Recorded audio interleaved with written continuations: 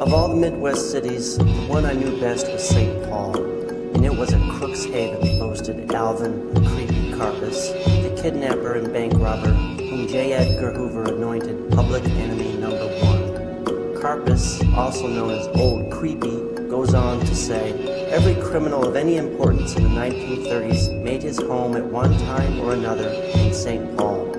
East to the west, we deep in this cold mess. Some killers and thieves scheming to hold checks. Scratch the paper, looking who to fold next. For greenery and cheese pop up like mold specks. Don't get rolled next like a stop sign or a drop dime when I rhyme. Yeah, shots fired on the mic, bucking like a drive-by. Cut your lifeline like your palms line falling down on your bike ride. We're trying to bubble like peroxide, make you start crying. Uh, St. Paul, we out there climbing, little bitch. Look at this motherfucker. Motherfucker, what it do? All the way from Dapper Dan to Pluky Duke, the capital city, underground just like our roots. Like our roots. Scuff your shoes, trying to run from these rugged goons. goons. Thugs and droogs on drugs in an ugly mood. The Crook's Haven, best believe no fucking fluke.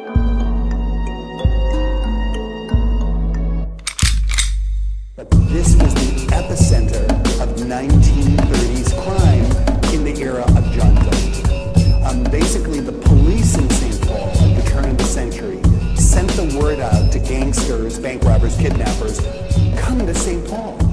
You can be here. You have to promise not to kill or rob anyone within the city limits of St. Paul, as, and of course pay a bribe. As long as you're on your good behavior, Mr. John Dillinger.